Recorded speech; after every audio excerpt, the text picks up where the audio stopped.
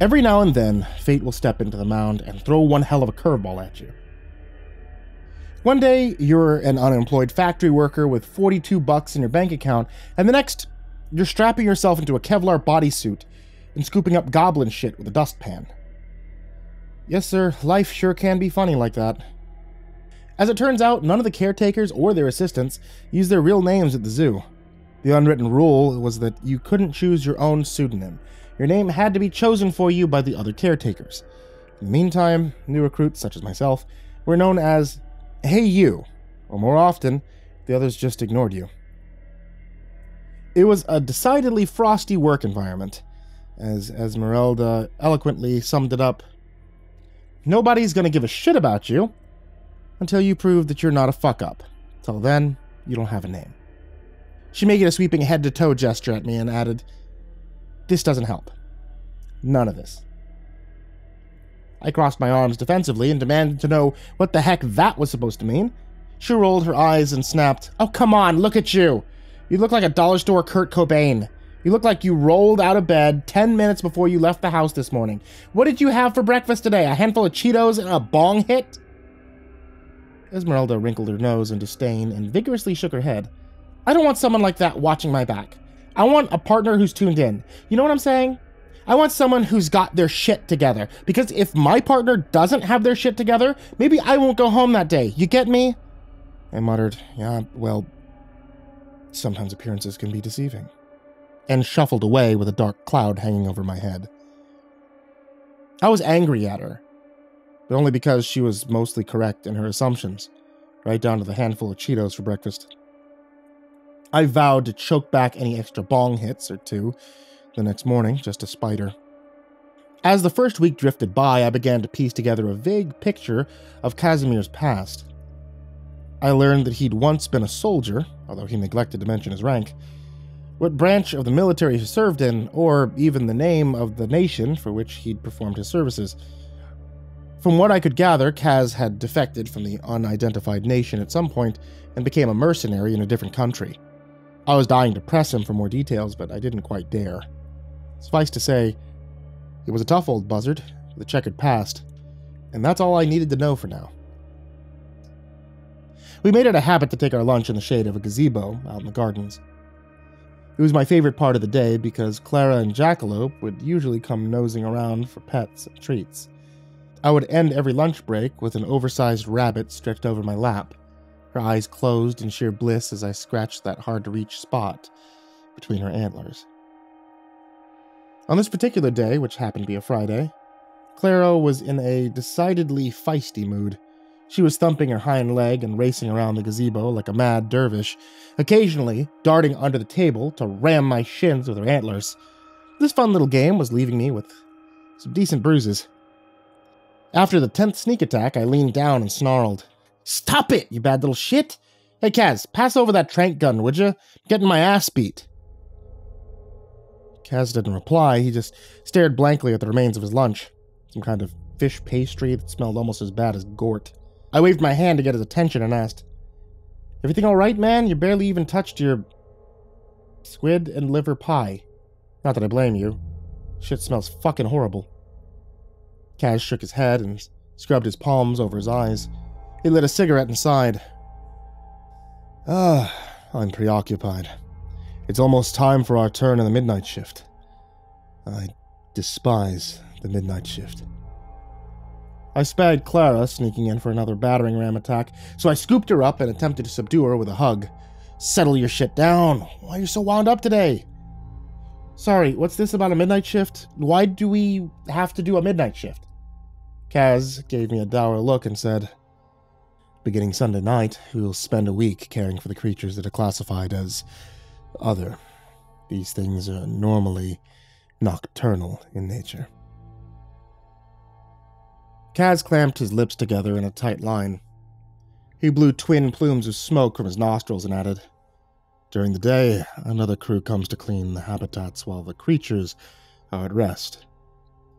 We cannot do this at night when they are active. It is too dangerous.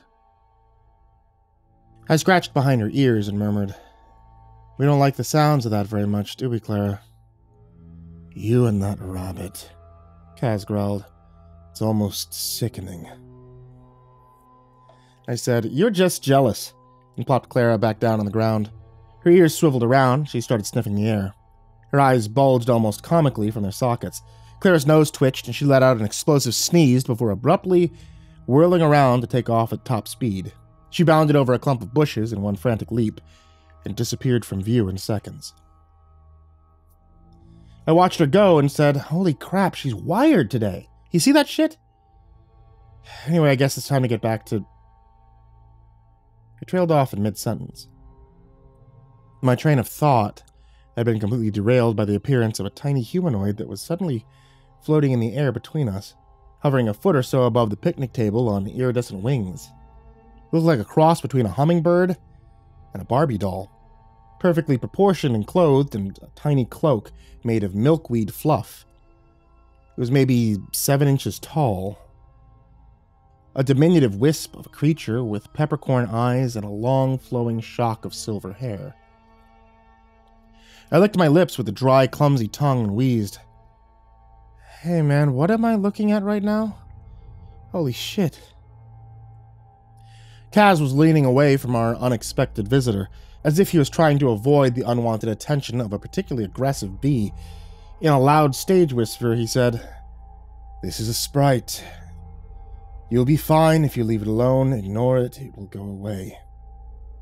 The sprite drifted closer, its gossamer wings whirring away quietly as it hovered in the air. It appeared to be studying me with an unnerving intensity.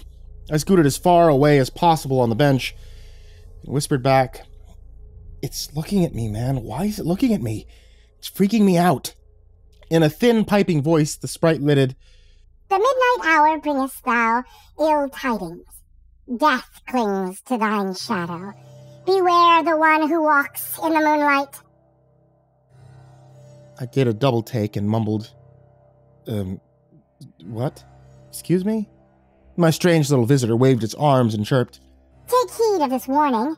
And remember, the light is close to thine heart. The sprite made a bizarre trilling sound and spun around in a circle. I heard Casimir gasp something in his native tongue, and saw him make the sign of the cross in the corner of my eye. Faintly, I said, Hey man, what the hell's going on here? What should I do? Beware the one who walks in the moonlight. The sprite screeched, and it clapped its tiny hands together to emphasize the importance of the words Take heed. The light is close to your heart. Your heart! The sprite's last words spiraled up into a high pitched buzz that felt like an ice cold spike in my frontal lobe. It peaked at an ear piercing octave, and the sprite shot away in a sudden blur. It was there one second, gone the next, moving so rapidly it appeared to wink out of existence. I stared at Kaz for a moment, too stunned by what I had just seen to speak. Finally, I peeled my tongue off the roof of my mouth and grunted, What just happened? Up until this point, I was pretty sure Casimir possessed only three different facial expressions mildly annoyed, mildly amused, or a foreboding, non existent, then strictly prohibited foolishness of any kind. So, as you can imagine, I was a bit disturbed to see that Kaz looked genuinely shaken by the incident. He was gawking at me like I had just sprouted a second head. Kaz pointed at me and stammered, It spoke to you. I've never seen such a thing. Reluctantly, I asked, Is that bad? Maybe not, Kaz muttered, but maybe so. I rubbed my temples and groaned. What now, for Christ's sake? Well, Kaz said slowly, first you must understand that the Fae folk must move very rapidly, much faster than any mortal being can imagine. Because they move so rapidly, they can travel in any direction. From their perspective, up and down is the same as yesterday and tomorrow. The laws of their physical world mean nothing to them. The eyes of the Fae, we are hardly different from the willow tree, or the ant which crawls across the table, or even a blade of grass in the fields. We are slow and insignificant. Is a very rare occasion when a sprite will even notice a human being. It is. Kaz made a vague motion with his hands, his lips pursed beneath the salt and pepper ridge of his mustache. I swallowed down a lump in my throat and demanded, It's what, man? Spit it out! You're killing me over here! Kaz shrugged and said, Very well then. When the Fae take interest in a mortal being, they will sometimes take them away. This does not happen often, but it happens. I stared at him in horror and croaked, Take them away to where? Kaz shrugged again and lit another cigarette. He exhaled a roiling cloud of smoke and said, No one knows. No one has ever come back. Well, there you go, I exclaimed, and I zipped up my cooler bag with an angry jerk that nearly ripped the tab off the zipper. No one's ever come back. Good stuff. Man, fuck this job. Kaz held up his finger in a shushing gesture, and in a conspiratorial tone of voice, he said, According to legends, they will sometimes predict the future. It may be wise to remember what it said this day. I was too busy being fucking dumbfounded to pay much attention, I snapped. I think it said something about the light being close to my heart. I don't know. I can't remember. Why the hell does Vic let these things fly around unsupervised anyway? Seems kind of reckless, doesn't it? Kaz explained that Victor actually had no control over the sprites or their actions. Unlike the rest of the creatures at the zoo, the sprites hadn't been captured out in the wild. They just sort of showed up one day. They never left. I said, Really? That's weird. Wonder why. Kaz waved a hand at the many castles and elaborate footbridges in the background. No one knows for sure why they chose this place, he said. I think the reason is obvious. If I was a fairy tale creature, I would wish to live in a fairy tale land.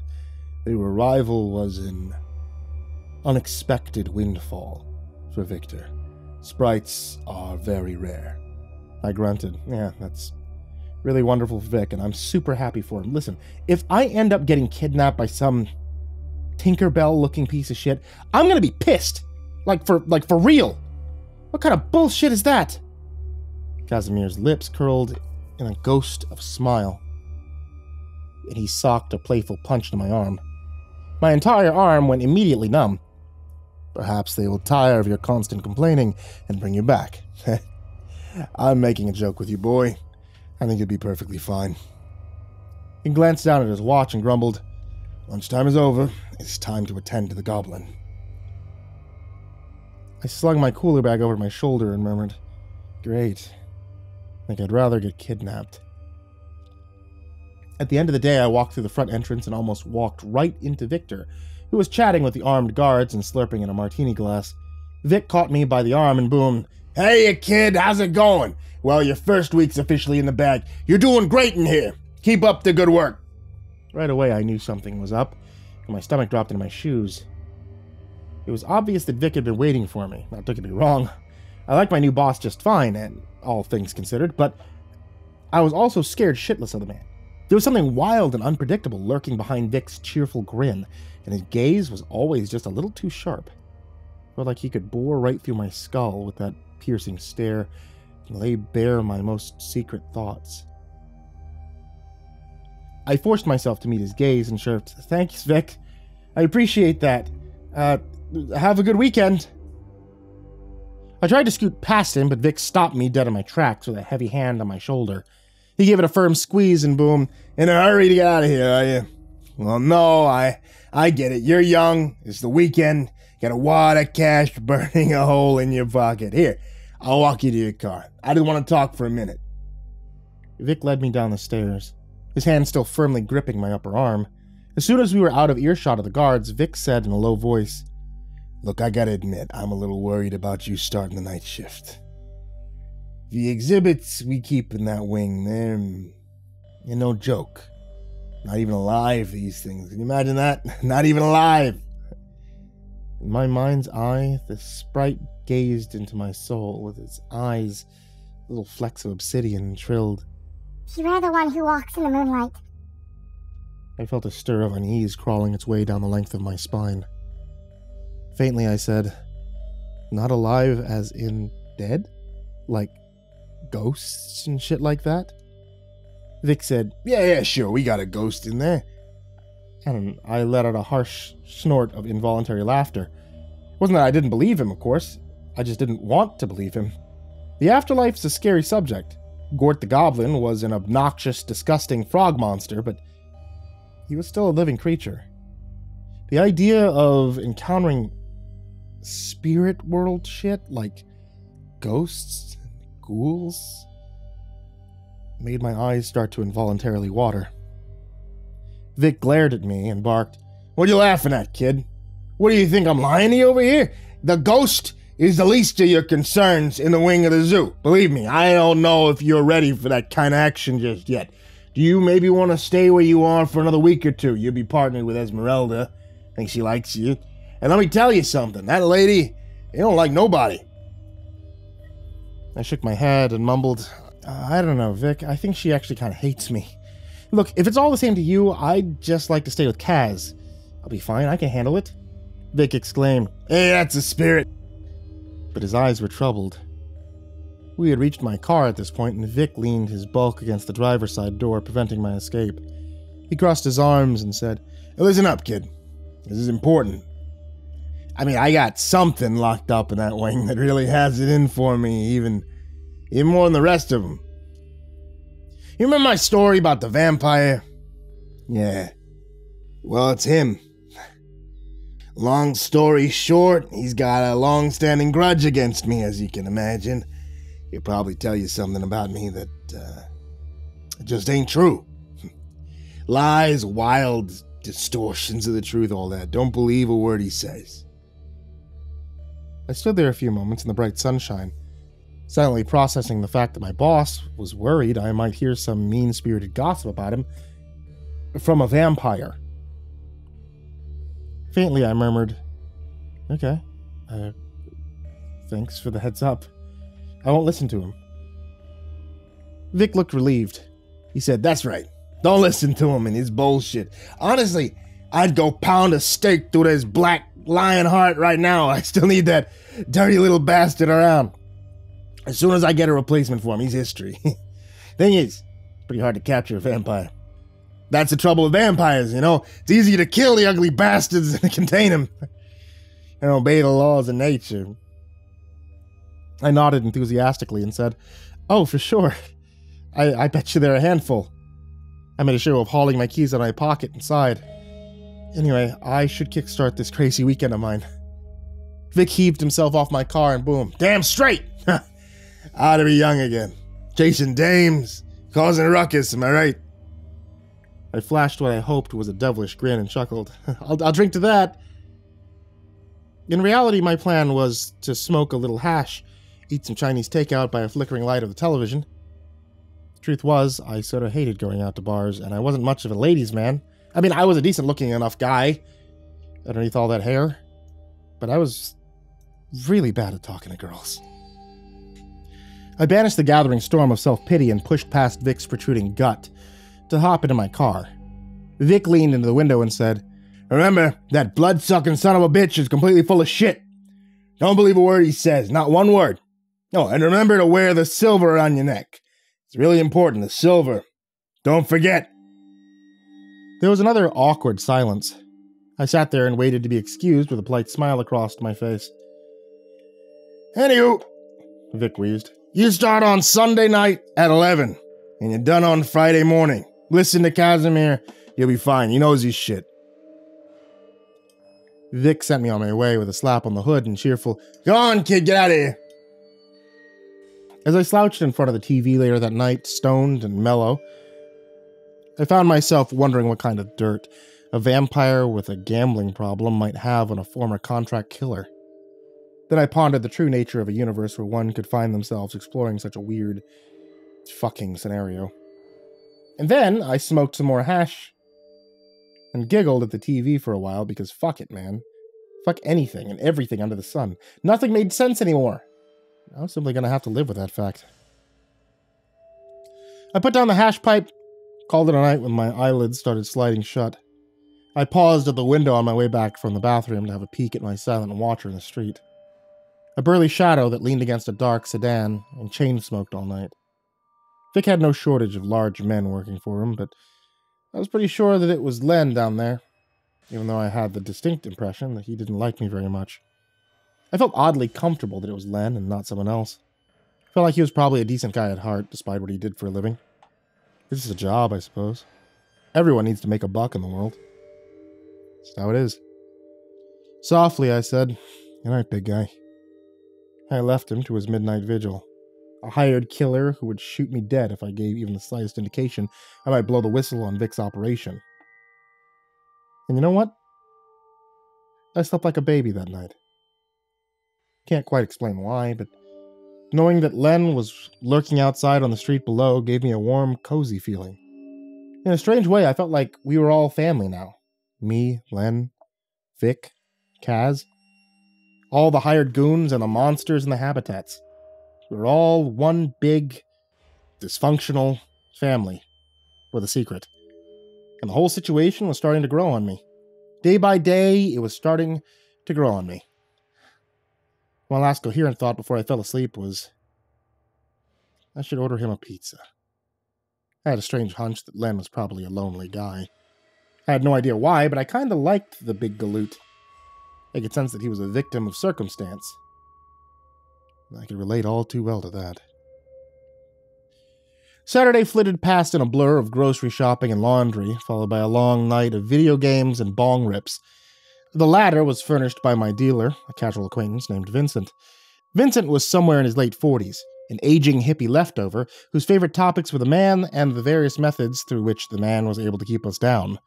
Occasionally, I'd let him hang out so that he could vent for a while, but more often, I just did the deal at the door and immediately bid him good night. He was, well, a bit much sometimes. A nice guy overall, but his paranoia shtick was definitely a bit much. As soon as I swung open the door, Vince blundered past me and blurted, Hey man, there's a dude lurking around in front of your building, like a dude, you know, one of them. I manufactured a skeptical grin and said, The fuck are you talking about, Vince? What dude? Vince peeked out the living room window and quickly ducked out of sight, plastering himself flat against the wall. He's down there, Vince whispered. He's sitting in a black sedan. This guy is pig stink all over him, man. Like, like he's practically oozing Uday fascist establishment from his pores. That's how fucking obvious he is. What have you been getting yourself into, man? I'm not committing any federal crimes, Vince. Sit down. Stop freaking out. It's just some guy in his car. Just some guy in his car, Vince repeated, his tone incredulous. Sure, man, it's just a weird coincidence that a big gorilla in a dark suit staring up at your window out of all the windows in this whole city, and he. So, what you got tonight? I interrupted. I'm looking for some decent green. Then I can help you. Vince sighed in mock regret, and he flopped himself down on my couch. See, all I got here is this fucking dynamite green. 70 for a quarter, 40 for a half. Don't ask for no grams, bro. I don't have that high school shit. What you want? I raised my eyebrow and shook my head at him. I said, I'm disappointed in you, Vince. I feel like you should be pointing a flintlock pistol and yelling, Stand and deliver, because that's highway robbery, man. Vince smirked. Go grow your own stone then, man. Smoke for free. Whatever, my man. Just sell me a quarter. Quit rubbing your hippie stink all over my fucking couch. Oh, come on, brother, Vince moaned. We're socializing here. What's gives? Why are you always so harsh, man? I warily scrubbed my palms over my face and grunted. Look, shoot me a quarter ounce. Get out of here, would you? I'm not in the mood for company. You're never in the mood for company, Vince grumbled. It's all good though, man, because you know what? You're an asshole. There you go, asshole. Give me my money so I can stop burdening you with my presence. I saw Vince's wounded expression and almost felt bad for him. Vince was an old burnout, but he was a nice enough guy beneath the foggy brain, dumb fuckery. He put the money on the coffee table and said, Look, we'll smoke one, hang out for a while next time. I promise. It's been a long week. I'm on my last nerve over here. Thanks for coming by, man. You know I appreciate it. Vince slouched over the door and muttered, Well, I certainly hope you appreciate it. There aren't many dealers out there who will deliver. You're one of a kind, Vince, I agreed. And I firmly steered him out the door. He was gone, I let out a sigh of relief and sat down to roll a fat one. I was already regretting my offer to let him hang out next time. Vince was a nice guy, yes. But he was fucking exhausting. I was just about to light up when I heard a knock at the door. I groaned and stomped over to unlock the deadbolt, the joint still dangling from the corner of my mouth. As I opened the door, I started to ask, What'd you forget this time, Vince? And wham! A hand the size of a frying pan smacked in my face and shoved me across the room. I fell backwards, my arms pinwheeling for balance, the broken remains of my doobie raining from my lips as I fell over the coffee table. I ended up wedged into the narrow space between the table and the couch, my arms and legs waving up in the air as my nose trickled blood over my lips. I had time to gasp, What the fuck? And then I was plunged into shadows as a hulking figure loomed above me. I was roughly hauled from my feet and found myself standing face to face with Len, my watcher in the night. Len looked absolutely fucking furious. His entire head was flushed as red as a brick. Not just his face, his entire head, including his raging cauliflower ears. Len hauled me in close and growled, You got one chance, Dumbo, and only one. You lie to me, I'll throw you out the window. Got it? I sniffed. Yeah, I got it. Len nodded in approval. Good. Who's the douchebag with the balding ponytail? It's my pot dealer, I whimpered. His name's Vincent. Vincent the pot dealer. Okay, sure. So, what exactly do you and Vincent the pot dealer talk about this evening? Uh, well, we talked about pot. And Len twisted my ear until I shrieked for mercy. He clamped my head between his hands, squashing my face into a strange goldfish shape, then barked, That's it, smart guy, you're going out the fucking window. I shrieked, No, wait, okay, okay. Uh, he, he saw you looking up at my window. He assumed you were a cop. He's a paranoid old hippie, so he always thinks that the man is out to get him. I told him that you were just some guy sitting in a car, and I changed the subject. He left after that. Well, he's not wrong, Len said softly, and released his crushing grip on my head. The man is out to get everyone. Then shoved his hands into his pockets and had a look around my apartment. He turned back to me and gravely shook his head. You didn't have time to clean this weekend. Or last week, for that matter. Don't look at the mess, and I assume that. I'm not worried about your filthy crack shack, kid. Len snapped. It's the hippie. You gotta go. Hesitantly, I said, Where does he have to go? Len snorted in exasperation. He threw up his hands and rasped, To the big sleep, you fucking halfwit. He saw me, and that's not good. He's got to go. I gawked at my unwelcome visitor with my mouth hanging open in shock. I tried to offer a rebuttal, but all I could think was a rapid fire stream of shit, shit, shit, shit, shit, shit, shit. And that wasn't helpful at all. What? Len demanded. What you're looking at me like that for? It's all your fault for having Mr. Nosy Pants over here in the first place. Look, I already know what's gonna happen. You guys are gonna get stoned some night, He'll ask about me again. You'll end up blabbing something you should have kept to yourself. Len shrugged at my horrified expression. He said, Gotta do what I gotta do, kid. Protecting Victor Bonicelli and his interests. It's my entire job description right there. This hippie is a loose end waiting to unravel. He's a threat. Slowly, I said, can't believe I'm in a position where I have to beg for my pot dealer's life. But here we are. Look, please, please don't do that, okay? Please. Vince is harmless. Even if he did know something, no one would ever believe him. He's a flake. He, he thinks the moon is a projection and cancer isn't real for crying out loud. Uh, believe me, no one listens to Vince, and I would never, ever tell him or anyone else about the zoo. I swear it. Damn right you aren't going to tell anyone, Len agreed. Because if you do, I'll disappear, I interjected. I already heard this spiel from Vic. I don't particularly want to end up as pig feed, so don't worry. Okay, my lips are sealed. And people tell me not to worry. I start worrying, Len grated. And he turned to leave. As he was walking out the door, he looked back and said, Do us both a favor. Find yourself a new dealer. That's an order. I started to close the door behind him, but Len abruptly stepped back into view and barked, Hey! One more thing before I go. I flinched and reluctantly asked, What is it? With a twisting knot of dread in my stomach. Clean your apartment, he snarled. and he made a sweeping motion with his hand at all the clutter. This is a disgrace. Your mother should come over here and slap the shit out of you for living like this. Pick up your garbage, vacuum the carpet, scrub that disgusting table with some lemon pledge. You got a kitchen sink full of dirty dishes? Yeah, sure you do. Wash them, you lazy fuck. You want to get cockroaches or something? Jesus Christ, what a mess. Len gave my apartment one final look of revulsion and clomped away down the hall. I locked the door behind him and immediately started trembling from an overload of adrenaline. I, I leaned against the door and groaned. This job fucking sucks. Much later that night, as I was laying on the couch and blinking owlishly at the TV, I realized something that made me burrow deeper into the safety of my blanket. There's only one way Lynn could have known what Vince and I had been talking about. At some point during the past week, my apartment had been bugged. Monitoring my every move wasn't good enough for Vic Bonicelli's deepest ingrained paranoia.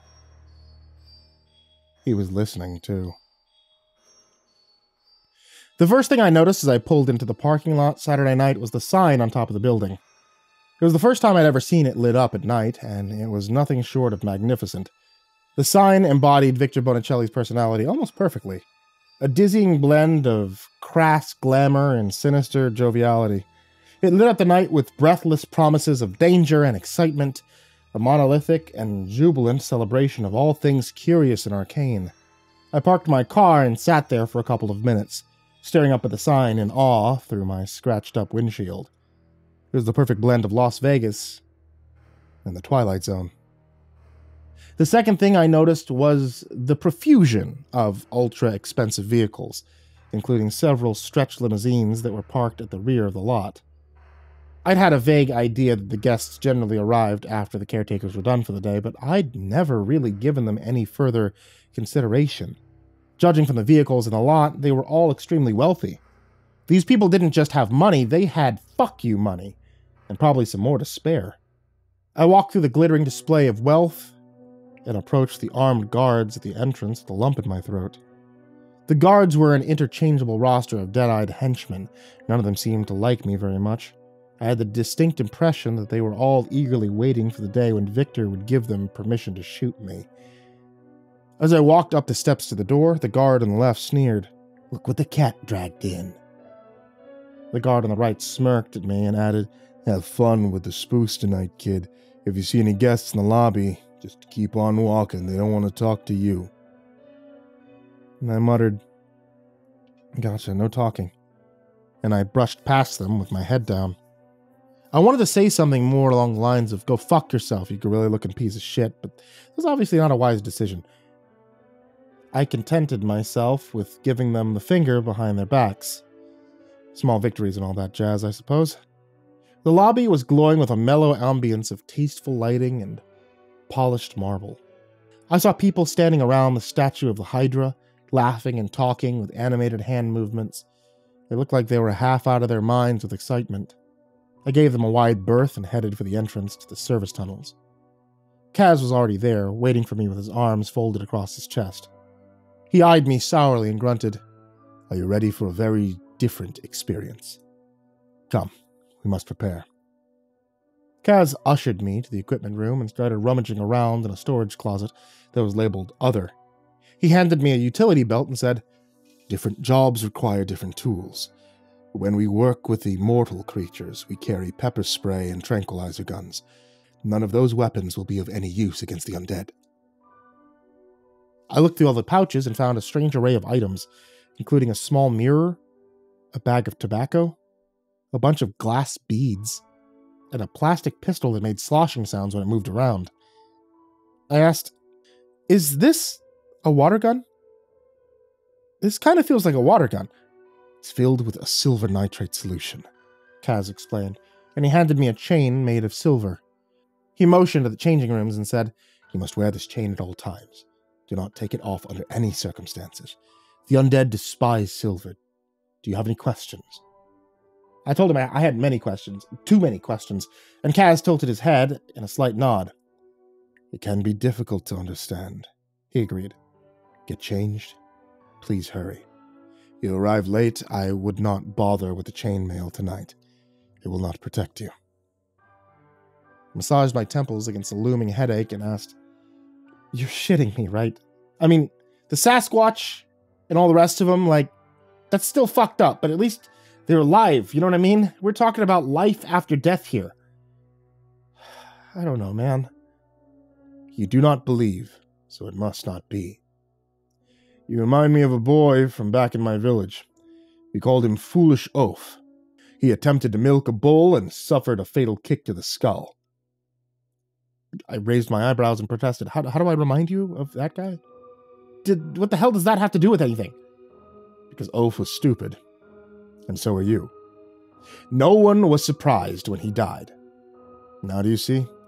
Go get changed. Kaz brushed past me and stomped over to the changing room. I followed after him with my face flushed red with embarrassment.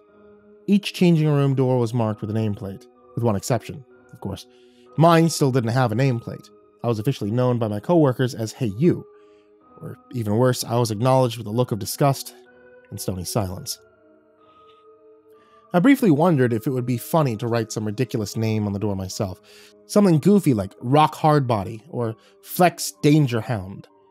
And a voice inside my head sneered, What the fuck's wrong with you, kid? It sounded suspiciously like Len, but I knew it was actually my own conscience telling me to grow the fuck up and start acting right. My job at the zoo wasn't a joke. It was a very real situation. Casimir, Vic, the monsters, the wiretaps in my apartment, all of it was very real. I had to start taking it seriously right now. Ten minutes later, we were in the service tunnels. Kaz took me to the first door and tapped the observation window. He beckoned me to come take a look.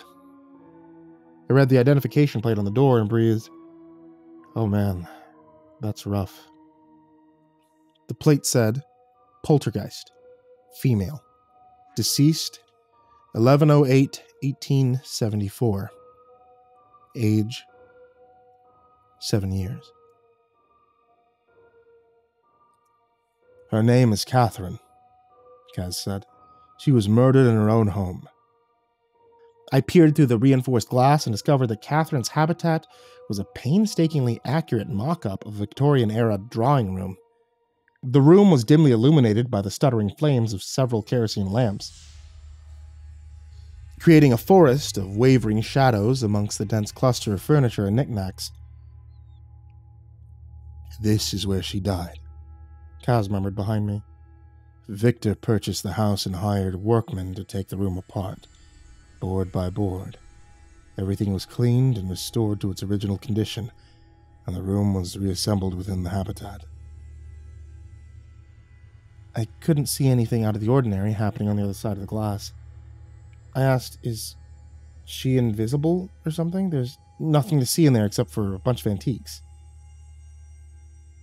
All ghosts are invisible, Kaz retorted. This one can be seen in a mirror that's been equipped with a silver backing. She can also be detected on film. If you must enter her cell, keep track of her with the mirror on your belt at all times. She can be very hostile. It is best to remain cautious. I searched through the pouches on my belt to pull out a round, palm sized mirror. I tilted it one way and saw nothing out of the ordinary, then tilted it the other and almost dropped the damn thing in shock. I cleared my throat and grunted. okay, there she is. Holy shit. Catherine was a diminutive scrap of a girl in a dark dress and a fancy hat, a ruffled little bonnet that was perched high atop her severed head. She was hugging her head to her chest with both arms. Her eyes were open, conscious, and horribly aware. I stepped back from the door and scrubbed my hands over my weary face. The night had barely begun, and I was already tired. I asked, How do you defend yourself against a poltergeist? You cannot. However, if you are watching her in the mirror, she is unlikely to approach you. I chuckled at this a little bit and said, Kind of like the ghosts in Super Mario Bros. 3. That's, that's wild. Kaz stared at me with a completely blank expression. Slowly he asked, What what in the name of the heavens is Super Mario 3? What is this nonsense? I took another look into the habitat with the mirror and flinched. I said, never mind, let's just move on. She, uh, she's right on the other side of the door. She's holding her head up to the window so she can look at us. Man, I'm telling you something, okay? I'm not going in there. Kaz's lip twitched in a ghost of a smile, and he said, Ah, it's probably for the best. You would forget to keep track of her location and get smeared across the ceiling. Who do you think would be made to clean up that mess? I cast an uneasy glance at the overhead lights and murmured, You, hopefully. Kaz gave me a guarded smile and guided me down the corridor to the next habitat. It's time to meet the vampire. We stopped in front of the door and Casimir grunted. This is it. This is the vampire. I looked through the window and saw a skinny little dude sitting by himself on a concrete floor. The walls were also bare and concrete. There wasn't a single stick of furniture in the whole room. The only features to be seen anywhere in the habitat were a grate covered drain hole in the middle of the room and a hose reel that was attached to one of the walls. The guy sitting on the floor looked to be somewhat in his late 30s, short and thin, pale as milk. His head was shaved to the scalp and he was clothed in some ragged looking coveralls. He looked like a prisoner in a forced labor camp. His name is Salvatore, Kaz said, and he is very dangerous. He cannot approach you with a silver chain around your neck, but he has the power to influence your thoughts. Keep your sidearm ready at all times when you enter this habitat and be aware of intrusive thoughts. I pulled my so called sidearm from its holster and said, This is a squirt gun, Kaz. Like it's it's literally a plastic squirt gun, man. What do you mean what did you say was in here? Holy water? Holy water does nothing. That is a myth. Your weapon is filled with a silver nitrate solution. It has a strongly corrosive effect on the undead, so use it only if you must. Victor does not want the attraction to look unsightly for the guests. I holstered my squirt gun and resisted the urge to make a smartass comment. Instead, I pointed out how spare and dreary the vampire's habitat was in comparison to all the others, and asked, What's up with that? You know, it seems like it's kind of cruel and unusual punishment or something, doesn't it? Victor has a burning hatred for Salvatore, and that is all I care to say. It is not my concern. Neither is it yours. He gave me a stern look and made a quick zipping motion across his lips. The cameras were always watching, the microphones were always listening, and certain opinions were best left unspoken. A vampire can think, feel, and even breathe, but they are not alive. Remember to the likes of him, you are nothing more than a walking milkshake. I raised an inquisitive finger and asked, Speaking of which, how do we feed this guy? We're not sticking actual living people in there, right? Because I'm not okay with that. He feeds on nothing.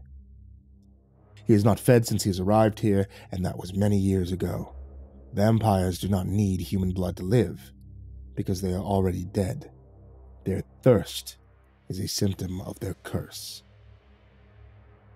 I thought about that for a moment and said, Let me in. I want to talk to the guy. Kaz arched an eyebrow. He said, Are you sure of this, boy? You may enter if you wish, but most of us prefer to stay out. It is an unnecessary risk. Salvatore is extremely dangerous. I examined Victor's shaven headed penitent through the observation window, sitting there on the bare concrete floor of a starkly empty room, and I slowly nodded my head. Yeah. Let me in. I want to talk to this guy for a minute. Kaz punched the code without any further comment.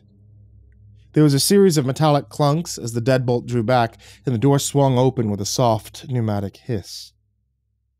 As I turned to go inside, Kaz bent down close and breathed in my ear. Remember, they are always listening.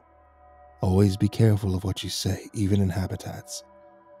Keep your weapon in hand and make your conversation brief. Salvatore watched me through the door with his eyes narrowed in suspicion. We stared at each other for a while, both of us waiting for the other to speak. Finally, Salvatore clambered to his feet and rasped, Well, the fuck you want, kid? You Want to take my picture or something? Don't bother, it won't work. Me, I don't really show up very good in pictures. I hesitated then. No, nothing like that. I just wanted to talk. Salvatore gave me a disconcerting, toothy grin and repeated, Talk. Sure. I'll talk your ear off. Should probably get rid of that chain, though. I don't like it. That thing, it's really heavy anyway, right? Heavy as shit kind of irritates the back of your neck, don't it? The chain was pretty heavy. He was right. I could feel it rubbing uncomfortably against the back of my neck. It was the stupidest accessory of a completely ridiculous costume. Cumbersome, itchy as well. I wanted nothing more than to rip it off and hurl it to the far corner of the room. I didn't really need it anyway, did I? Maybe. I suddenly became aware of the sharp intensity behind Salvatore's gaze. It reminded me of a house cat staring into a bird cage. All bright eyes and twitching tail. I shook the intrusive thoughts out of my head and pointed the business end of my water pistol at him. With a bravado I wasn't feeling at all, I barked, Don't try it! Stay out of my head! Keep your distance! Salvatore lifted his upper lip in a feral snarl, fully exposing his pointy canines. He hissed, Got ourselves a tough guy over here. Get out of my face, you gee whiz looking piece of shit. You ain't no tough guy. I can smell your fear. You got every right to be afraid, Billy Whitebread, because I'll rip into you the first chance I get. I'll splatter you all over these walls. I told him, I don't have to be a tough guy to pull the trigger, and squirted a dribble of gray tinted liquid near his feet. Salvatore was already leaping away before the silver nitrate solution hit the floor. He sprang 10 feet into the air, executed a tight backwards roll, and landed lightly on his feet. My mouth dropped open in amazement. His agility made the finest gymnast in the world seem like an infirm senior citizen in comparison. Sal gave me a sour nod and crossed his arms. Point taken, he grunted. Fine. What you want to talk about? Softly I murmured, I want to talk about Victor Bonicelli. Keep it down, though, if you don't mind. They might be listening. Salvatore's eyes erupted in a blaze of old and abiding hatred. He stabbed a finger in the air and spat. Take it from Sally Two Shoes. That fat fuck is a backstabbing, two faced snitch. He was planning to stab Jimmy Nichols in the back ever since he started running drops on his bicycle. A natural born snake in the grass, that guy. A real sick fuck. I blinked in surprise and said, I didn't think you actually knew each other. Sal groaned. I was the one who vouched for that cocksucker. He never would have got it made if it weren't for my influence. No good deed goes unpunished, Billy. Nichols got off easy in comparison. A bullet to the back of the head, away he went for his final rest, not me. This is what I got. This. Salvatore motioned at his stark surroundings and gave me a grim smile. This may come as a surprise to you, kid. But I didn't want to become a vampire. You know who did this to me? Victor. That's who. Bet you didn't know that, did you? I did a double take and exclaimed, What? How? Sal shushed me and grunted. Keep your voice down, dummy. They're listening, remember? Anyhow, I'd always had this gut feeling that Vic was planning to get rid of Jimmy, take over the crew. I didn't have any concrete proof, but I could see it in his eyes, you know. I could see it in the way that he looked at Nichols when he thought nobody was paying attention. Now, I swear on my mother, I'd never breathe a word about my suspicions to a single soul. Not to the guys, not to a dame, not to nobody. But Vic is a fucking bloodhound. He could look right into your soul, that guy. I'm telling you right now, kid, you can't hide a secret from Victor Bonicelli. Anywho, one night, it's getting late. It's just me and the bartender down at the shores. Shores was a little hole in the wall down by the riverfront. Nichols bought it as a front back in the early 80s. Kind of became our unofficial clubhouse over the years, you know? Was a safe place to talk business. Drinks were always on the house. Felt like you were among family when you were down at the shores. Felt like you were home. So Victor comes strolling in about an hour before closing time. He says, I'm glad you're here tonight, Sally. There's something I've been wanting to show you. Something special. He claps me on the shoulder like an old friend. He hollers over at the barkeep. Two glasses and a bottle of Johnnie Walker over here. Let's go. Sal's lips curled over his fangs in a small, bitter smile. He shook a finger at me and said, Should have known something was up. But in my defense, I was already three sheets to the wind before we broke the seal on the whiskey. We sat there until that bartender, he might have been old, Gillespie Garibaldi, was bartending that night. Can't remember. Anyway, tells us he's got to lock up, get home to his family. So we stagger out the door, drunk as fuck. Vic turns to me on the sidewalk, says, There's this cat house I visit sometimes. I'm telling you, Sally, it's something else. You gotta see this place. It'll literally knock you dead. The girls of this place are out of this world. Well, Salvatore mused, it wasn't no secret that I had a special weakness for the dames. Couldn't get enough of them. Should have known it would be the enemy someday. Anyhow, we get there. Right away, I'm saying, Hey, you sure about this place? Looks like a shithole. Ain't even a sign out front. Vic goes, Nah, it's just a front. They don't want to draw any attention to their operation. It's real nice inside, real glitzy. Come on, I'll show you. So he grabs me and he steers my drunk ass through the door. We step inside. I immediately know I was fucked. Place is empty. No bar, no hot tubs, no broads. Just a big empty room with a pile of busted up drywall on the floor. It's an abandoned warehouse, and I was fucked. Felt the barrel of a gun pressed into my back. Vic whispered in my ear, See too much, Sal. I love you like a brother. I always did. But you gotta go. I said, if you want to kill me, why ain't I already dead? Should have pulled that trigger as soon as we stepped through that door. Victor kind of struggled with his words for a bit, you know, like he was conflicted about something. He says, I'm killing two birds with one stone, Sal. I need you gone, but I also have an obligation to fill. I'm combining the two and saving myself some hassle. I was like, what the fuck are you talking about? And he suddenly clocks me in the back of the head with the butt of his gun. Wham! Fall to the floor. He yells, Come and get it. Sal trailed off, sullenly staring at the floor with his bony arms still rigid crossed over his chest. He whispered, They came out of the shadows. Dirty, horrible things dressed in rags. Crawling down the walls, across the ceiling. They jumped on me all at once. Now I'm a vampire. Just like them. All I want is to die. Billy Whitebread. I just want to die, but I can't. He won't let me. I was at loss for words. I searched for the right thing to say, but nothing would come to mind. Quietly, Salvatore said, Kill me, Billy boy. Smuggle in a crossbow, put a chunk of wood through my heart. I gasped at him in shock. I croaked, I can't do that. Vic would kill me. I'd kill you too if I could. I'd kill you and everyone you know. I'm a predator. I can't stop myself. I don't want to either. Better believe that. Kaz hammered sharply on the door with his fist, making me jump a little from the sudden racket. He rumbled over the intercom. It's long enough. It's time to go.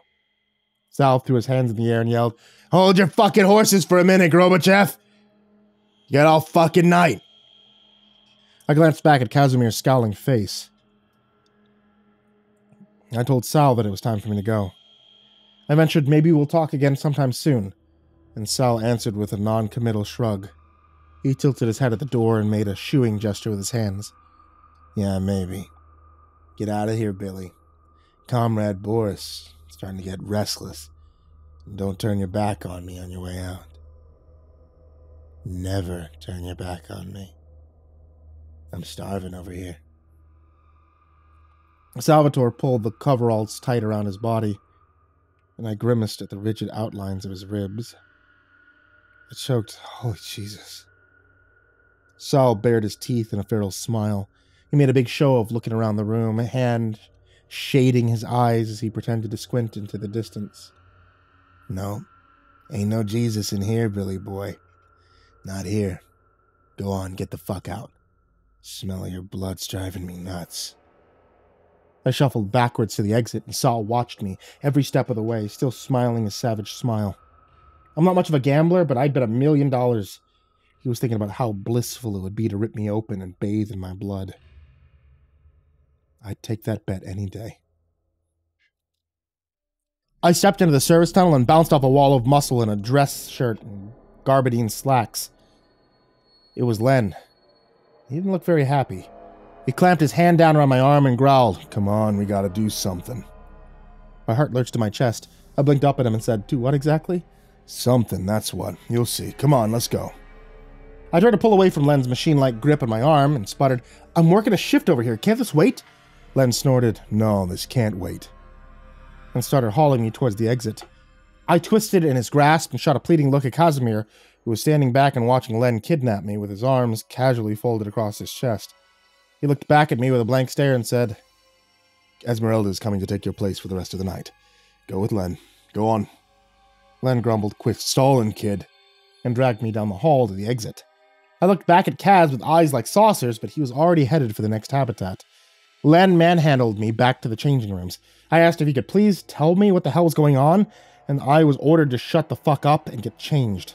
When I was done, Len proceeded to shove me across the lobby and into the parking lot where I was roughly crammed into the back of a Lexus. Len crouched down beside the car so he could stare me in the eyes. He poked me in the chest with his finger and snapped, I'll tell you something. You're not my favorite person right now. You the one single people I'm driving, just one. I'll reach back there and slap the shit out of you. No joke. Shut the hell up.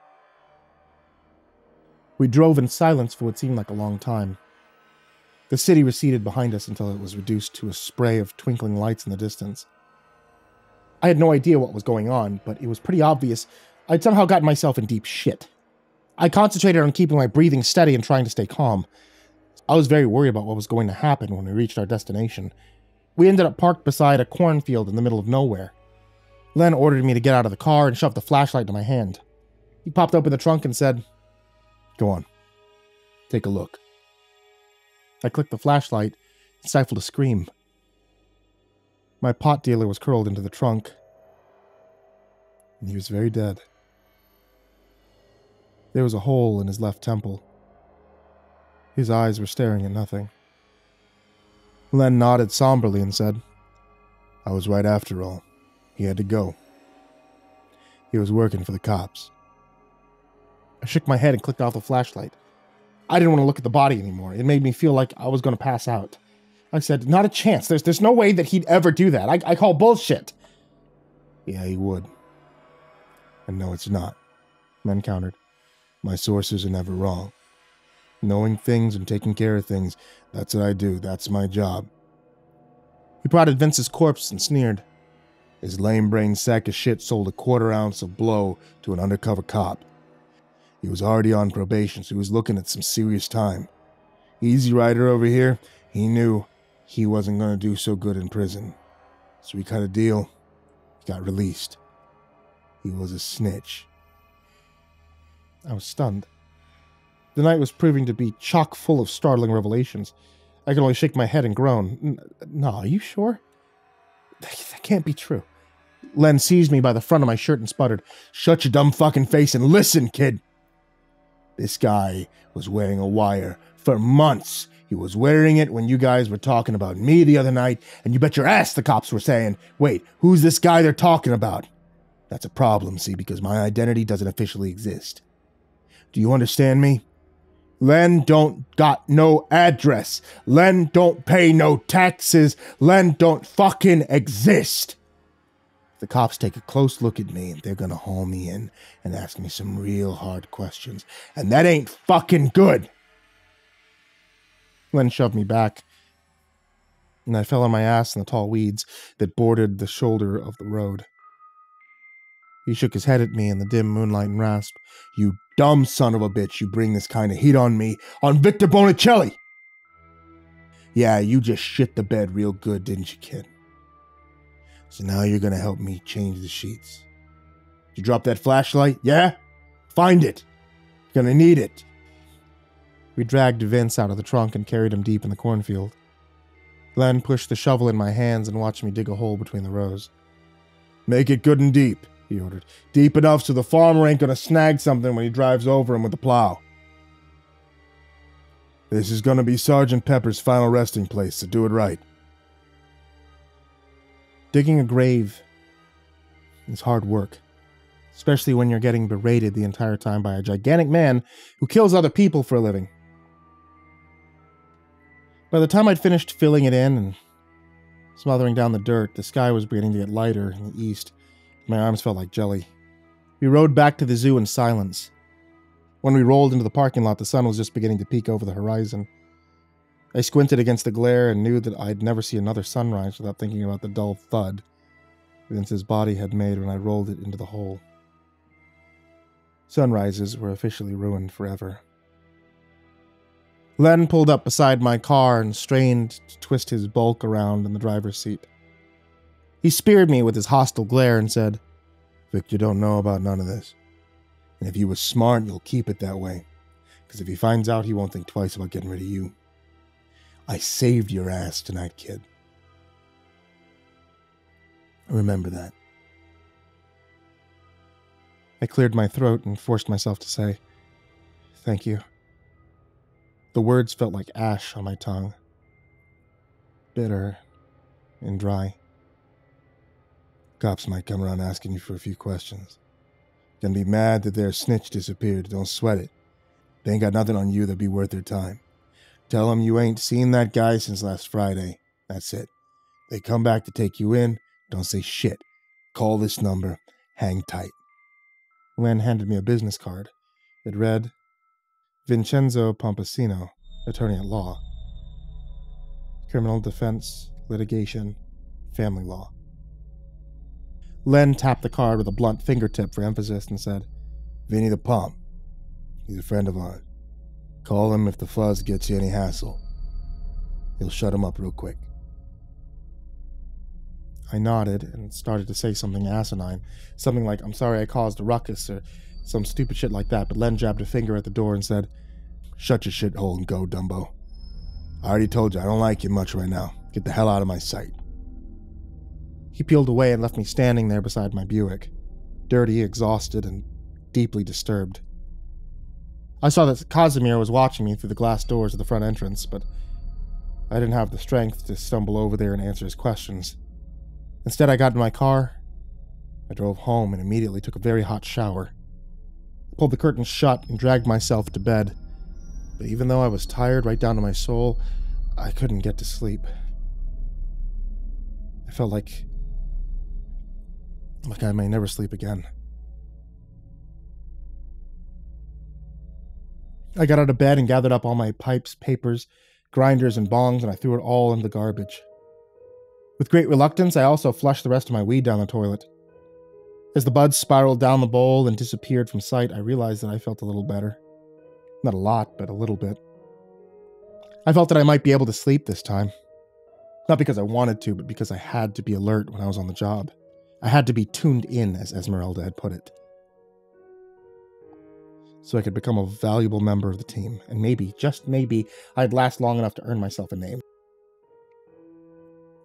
I would walk the walk and I would dance the dance, and when it was time to make my move, no one would see it coming. But I couldn't think about that, not yet. It's too dangerous.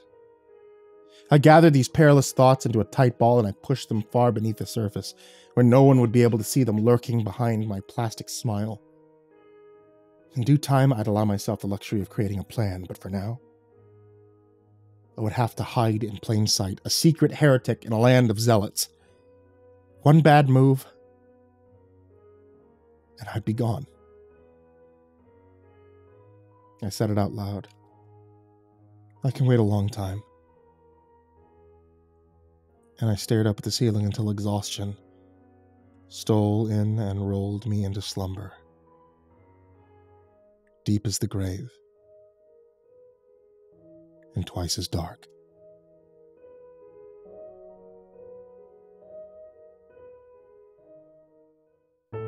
Hey there kids, it's me, Mr. Creepypasta, and I wanted to tell you thank you so much for watching today's video or listening to tonight's episode of the podcast. If you're listening on the podcast, then hey, thank you for subscribing to the podcast. If you're not watching on the podcast or watching on YouTube, I'd appreciate if you, if you subscribe to the YouTube because both are both, both, both are very good. They're important to me. And as always, I want to give a huge thank you out to everybody who's out there on the Patreon, patreon.com slash Mr. And to everybody who's already a part of it and even giving just $1. Thank you guys so much for making it possible for me to be able to continue to do this and even be able to get some exclusive stories that we only have here on the channel and you can't find anywhere else.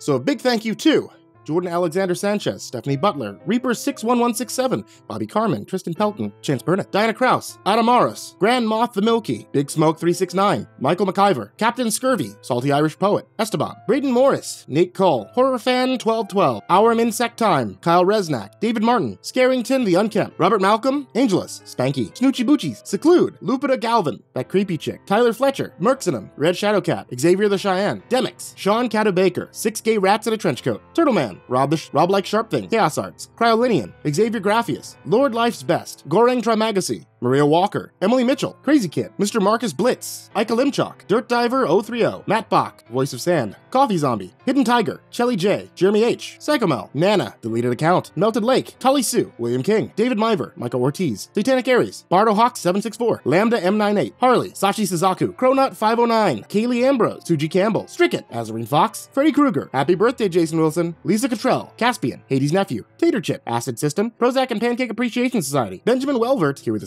Sloth, Fester's Lampshade, Sky Harbor, Nico Kyle, Rafael Rodriguez, The Ginger Bros, Aaron Stormcrow, Daniel Polson, and Corey Kenship. My goodness, the list is getting long.